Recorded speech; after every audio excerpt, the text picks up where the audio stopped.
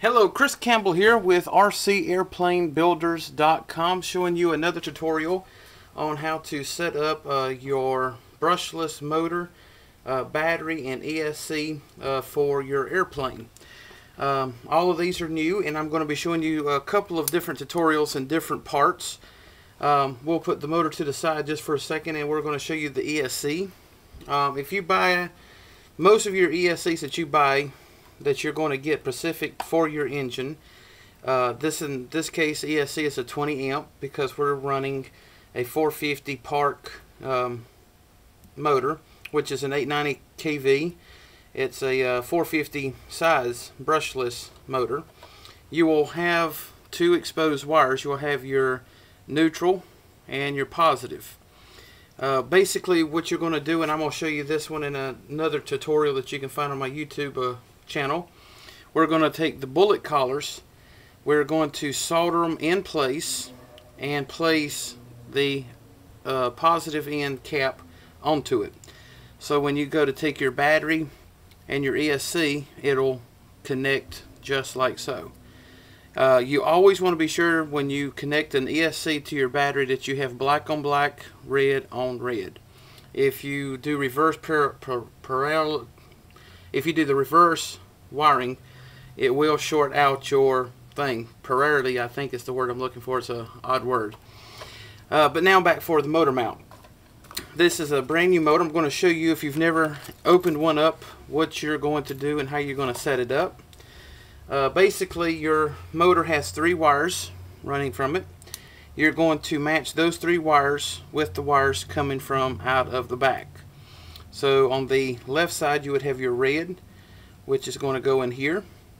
On the opposite side you have your black which is going to go there and the blue wire is usually the ground it'll go into the middle. So we'll put these to the side. Now once you have uh, measured where your motor is going to be actually mounted to on your airplane's firewall you will first take this this is your motor mount and mark the holes where you're going to be bolting the motor to your firewall. Once you have done that, you're going to take the motor mount and place it on the back lining up the holes. You're going to take one of the small screws. I would recommend using Loctite on these screws because these will ensure that they will not back out during flight uh, as a matter of fact, I saw a person at our local flying field who did not use Loctite and he was running his motor at very fast speeds and it was his uh, maiden voyage on his airplane and all of a sudden the motor flew in one direction and the plane actually quit working and he had to glide it in as a dead stick.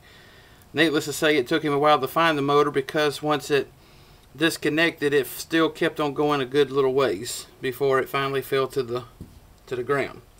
But uh, beforehand, I would put either blue or red Loctite onto the screw heads or the screws themselves. And that would ensure that your mount stays fully intact. Now the next part we have is our spinner and our collet.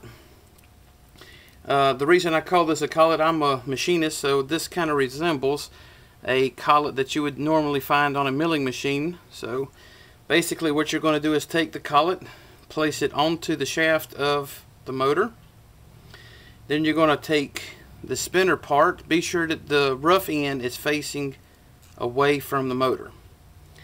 Next we're going to be placing our prop onto the screw and placing the spinner or the nose cone onto the prop and you will start by tightening everything down and that is how we set up our motor for mounting. Uh, please check out my next uh, YouTube channel's uh, tutorial on how to solder your ESC connections, bullet connections, and also on how to mount and set up and wire the motor and test it before you actually take it for a test fly. Again, this is Chris with RCAirplaneBuilders.com.